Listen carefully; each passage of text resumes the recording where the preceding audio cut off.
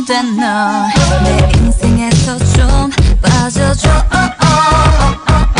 미쳤는가 싶으면 왜 와서 건드려? 가버릴 거면서 질러봐.